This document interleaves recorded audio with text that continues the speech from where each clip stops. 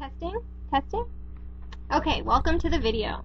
Um, here we're looking at a comparative box plot showing the distribution of salaries for construction workers and teachers, and we're asked to um, use some information given in statistical language to evaluate who's making more money according to these two distributions. So first of all, let's look at the first piece of information given here. It says Jenny makes the minimum salary for a construction worker. So we're going to go look at the I can get the pen to work. We're going to go look at the construction worker salary distribution, this first one.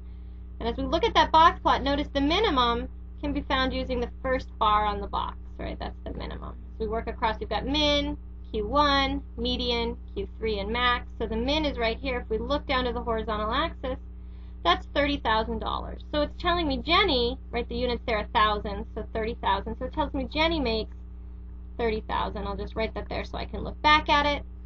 Now let's move on to Marcos.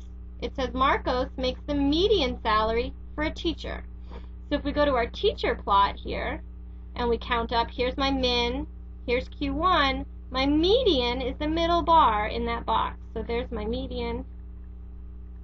So we see the median salary for a teacher is $40,000.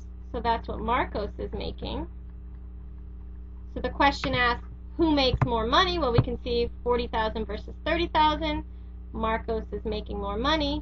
How much more? Well, we can subtract there. 40,000 minus 30,000 gives me 10,000.